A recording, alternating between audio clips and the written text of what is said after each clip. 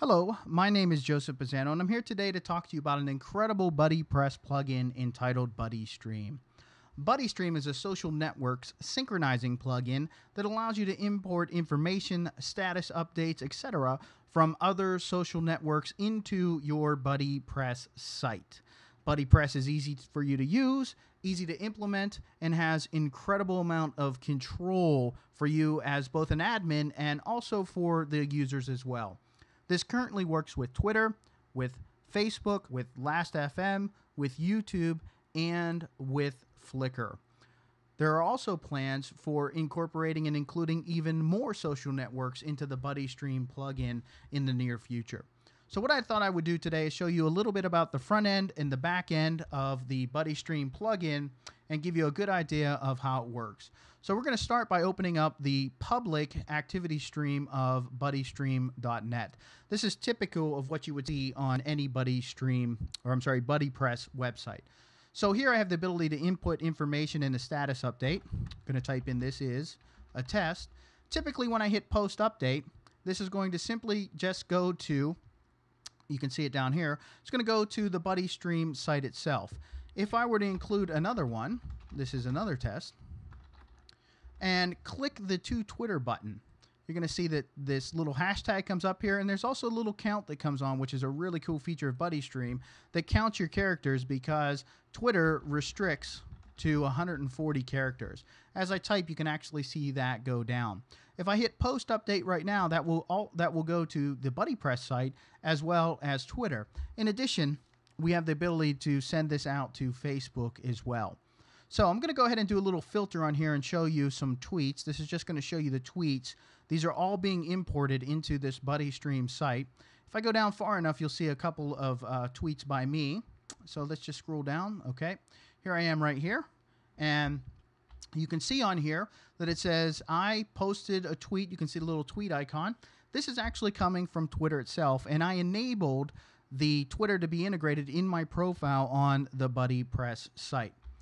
Now, let's just take a look real quick before we go to the back end at the what it would look like if we were using YouTube or we're looking at YouTube. So I'm going to go ahead and filter to the YouTube right now. You can see on here, this fellow has posted a video uh, from YouTube. Again, the user has set up this integration for their site to pull information from YouTube right into your BuddyPress site. Now we'll take a minute and we're going to go over to the back end so you can get a look at what this looks like with the BuddyStream plugin. So I'm going to go ahead and click over here on BuddyStream. All right, this is the back end.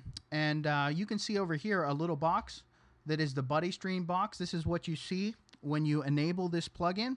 You have the general controls, and then there are a bunch of controls for each of the social networks that you decide to integrate. Now, if I go to the top of this, you'll see some BuddyStream import settings on here. You have the ability to use your own cron jobs, or you can use background importing. If you do use cron jobs, this plugin will automatically come up with the right cron job command for you to input into your uh, cron job itself. Also, you can use background importing on here, which basically every time someone comes to the website, every so often, it's going to go ahead and trigger the import settings for the BuddyStream plugin. There's complete control for you over what networks that you decide to turn on and off. You can see over here, this is the Twitter integration. This is currently on. The Facebook is currently on. Flickr, Last.fm, and YouTube is all currently on. This allows the admin to control which integrations they would like to have available for their users on their site. Very quickly, we're going to go ahead and take a look at the Facebook um, settings of the BuddyStream plugin. And uh, you can see here that this is the, the Facebook API. It's very similar if you were to look at the twi Twitter API on here. You have to actually go ahead and get um, you have to actually go ahead and get an application ID from Twitter and from Facebook, and there's a quick link directly to that within the plugin itself. Once you uh, get that information, you simply put your application ID and your secret key into the plugin. Now down on the bottom here, there's just there's a there's a huge amount of control for the admin to control what they would like to allow to be imported by their users. So here we have the overall option to hide it, but we can also include uh, sync the links, or sync the photos, or sync the videos, sync the updates. Any and or all of those things can be controlled by the admin.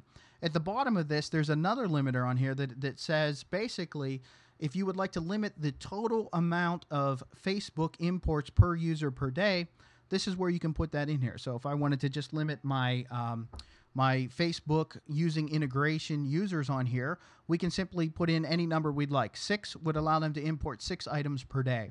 There's even finer control of this application, which is what makes it totally cool by using uh, totally cool and useful and functional for administrators by in the field filters over here.